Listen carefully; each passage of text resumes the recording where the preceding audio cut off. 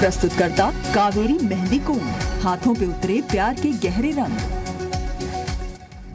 काशी विश्वनाथ मंदिर में 108 साल बाद माँ अन्नपूर्णा की घर वापसी, सीएम योगी ने की मूर्ति की प्राण प्रतिष्ठा, बाबा विश्वनाथ का आशीर्वाद भी लिया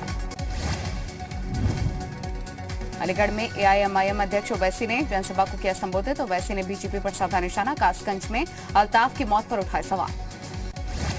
बलिया में बीजेपी विधायक सुरेंद्र सिंह ने दिया विवादित बयान। ओवैसी को भारतीय राजनीति का बताया जिन्ना। शिया वक्फ बोर्ड के पूर्व चेयरमैन वसीम रिजवी का ऐलान। हिंदू रीति रिवाज से अपना अंतिम संस्कार करने की कही बात।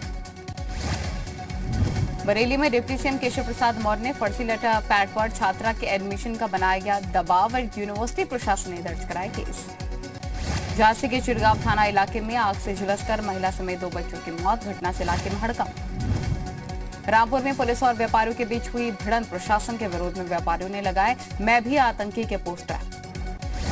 गोरखपुर में चाचा ने भतीजे को मारी गोली। गोली मारकर मौके से फरार हुआ चाचा। पेड़ काटने को लेकर हुआ था विवाद। बुलंदशहर के खानपुर थाना इलाके में संपत्ति विवाद को लेकर बर्थडे पार्टी में छोटे भाई ने बड़े भाई और भाभी को मारी गोली। महिला की हालत गंभीर।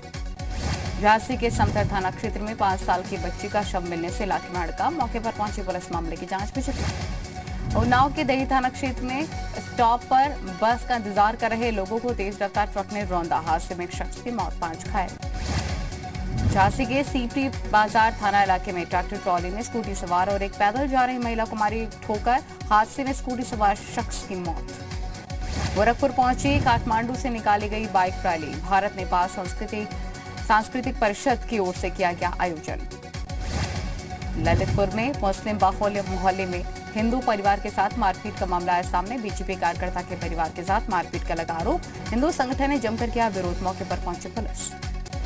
बुलंदशहर में आवारा सांडू के आतंक का वीडियो आया सामने। वायरल वीडियो में महिला और बुज़ुर्ग पर हमला करते हुए दिखाई दे रहे हैं सांडू। वृंदावन में आधी रात दीवार फांद कर प्राचीन सिद्ध स्थली श्री निधिवन राज में वीडियो शूट करने वाले यूट्यूबर गौरव शर्मा की पुलिस ने दिल्ली से गिरफ़्तार कर लिया है। अलीगढ़ में इंसान को डसने के बाद सांप की हुई मौत, युवक और युवती पूरी तरीके से स्वस्थ।